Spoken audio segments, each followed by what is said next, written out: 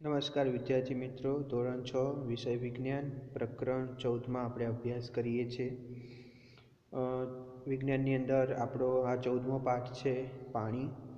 તો અહીંયા આપણે પાણી કેવી રીતે પ્રાપ્ત થશે, પાણીને બચાવવા માટેના કયા ઉપાયો છે, બરાબર? વધારે પડતું વરસાદને કારણે આપણને કઈ કઈ સમસ્યાઓ થાય છે. આ બધું જ આ પ્રકરણમાં આપણે આગળ અભ્યાસ કરીશું. હવે આપણે પાઠની શરૂઆત પ્રસ્તાવનાથી કરીએ છીએ. તો પ્રસ્તાવનામાં આપણે એવું કીધું છે કે, માની લો કે કોઈ કારણથી તમારા પરિવારને એક અઠવાડિયા સુધી પ્રતિદિન એક ડોલ જ પાણી આપવામાં આવે તો શું થાય?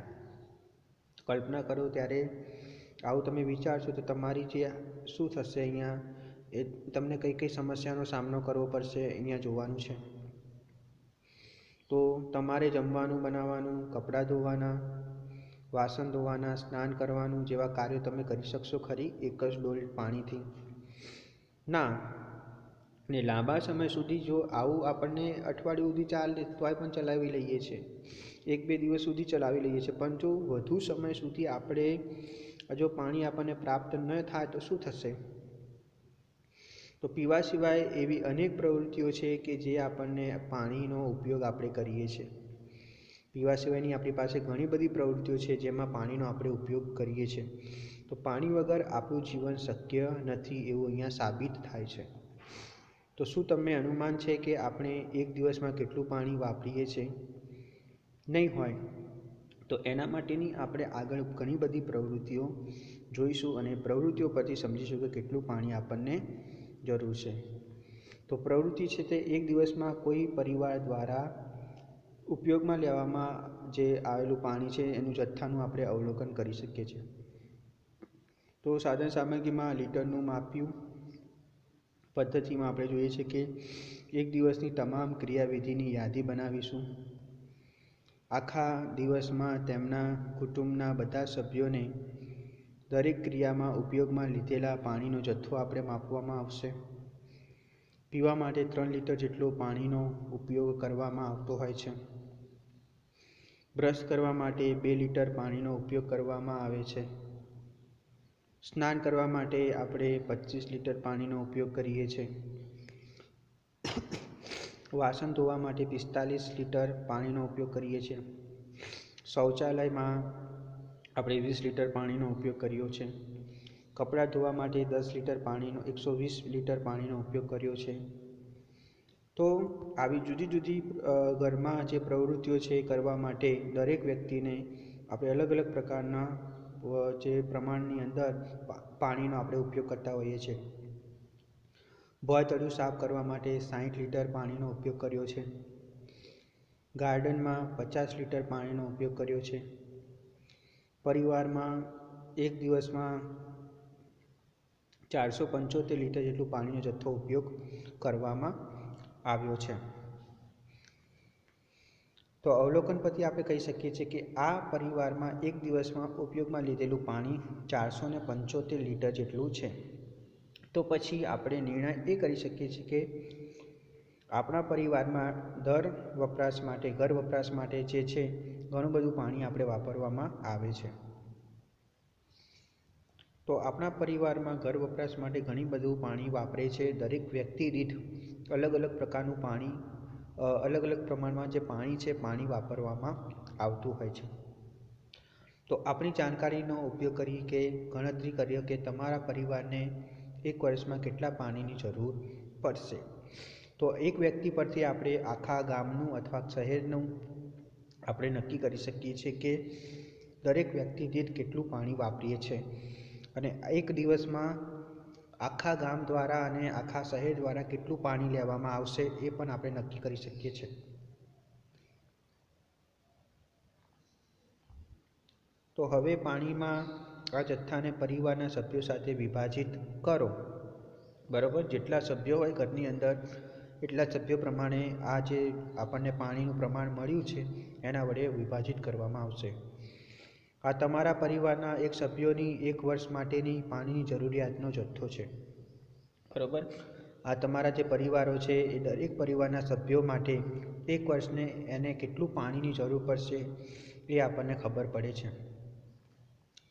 તપાસ કરો કે તમારા ગામ અથવા શહેરોમાં કેટલા લોકો વસવાટ કરે છે. હવે તમે જાણ્યું હશે કે પ્રતિ વર્ષ તમારા ગામ અથવા શહેરોને કેટલા પાણીની જરૂરિયાત રહેલી છે. બરાબર? તો પ્રતિવર્ષ તમારા ગામ તથા તમારા શહેરો માટે પાણીની કેટલી જરૂરિયાત છે એ પણ તમે એક દિવસના પાણી પરથી નક્કી કરી શકો છો. તમે એવા ઘણા બધા કાર્યોની યાદી કર બનાવો કે જેમાં તમે પાણીનો ઉપયોગ કરો છો. શું તમે વિચાર્યું છે કે આપણી પાણીની જરૂરિયાત આ પ્રકારની પ્રવૃત્તિ સુધી જ મર્યાદિત હોય છે? આપણે ઘઉં, ચોખા, અનાજ શાકભાજી તથા એવી અનેક ખાવાની વસ્તુઓનો ઉપયોગ પ્રતિદિન આપણે કરતા હોઈએ છીએ. આપણે જાણીએ છીએ કે કેટલાક રેસાઓનો ઉપયોગ આપણે કપડાં બનાવવા માટે કરીએ છીએ. તે વનસ્પતિમાંથી જ પ્રાપ્ત થાય છે. જો આપણે પાણી પાણી વડે જ એને વનસ્પતિને ઉગાડવામાં આવતી હોય છે. જો વનસ્પતિ નહીં ઉગે તો આપણને કપડાં પણ પ્રાપ્ત થશે નહીં. તેને ઉછેરવા માટે પણ આપણને પાણીની જરૂર પડતી હોય છે.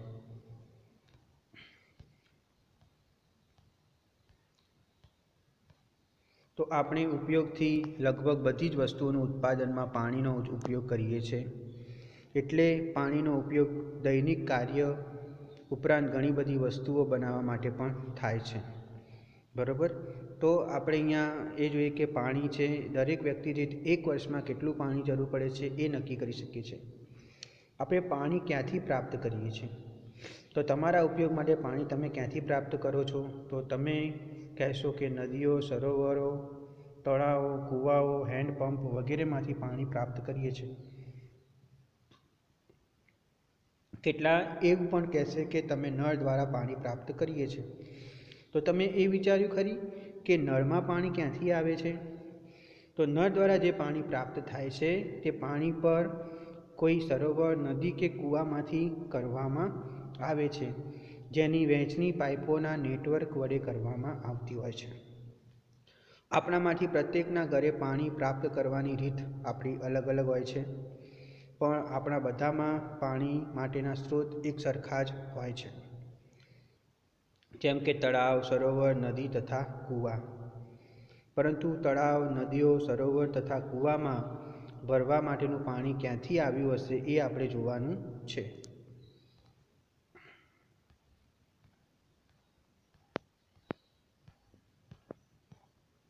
પૃથ્વીનો બે તૃતીયાંશ પાણીનો જે જે ભાગ છે એ પાણીથી ઘેરાયેલો છે.